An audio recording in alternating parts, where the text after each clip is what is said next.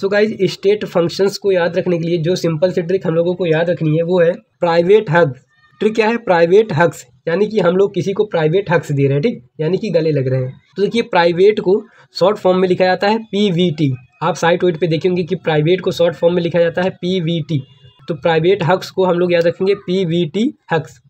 अब देखिए P V T के पी से हम लोग याद रखेंगे प्रेशर वी से याद रखेंगे वॉल्यूम टी से याद रखेंगे टेम्परेचर एंड हग्स के एच से याद रखेंगे इंथैल्पी यू से याद रखेंगे इंटरनल एनर्जी जी से याद रखेंगे गिफ्ट फ्री एनर्जी एंड यस से याद रखेंगे इंट्रोपी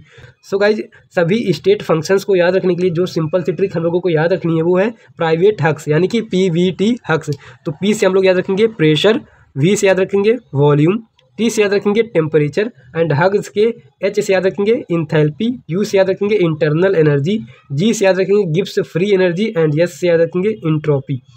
सो गाइज़ इस पे भी काफ़ी अच्छे क्वेश्चन बनते हैं। Which of the following is not a state function तो आपको तीन ऑप्शन इनमें से कोई दे देगा एंड चौथा कोई अलग दे देगा। तो वही अलग वाले को आपको सिलेक्ट करना होगा। और डायरेक्टली भी आपसे पूछ सकता है कि which of the following is a state function इनमें से कोई एक ऑप्शन दे देगा और तीन डिफरेंट ऑप्शन दे देगा। तो आपको स्टेट फ़ंक्शन पता करना होगा।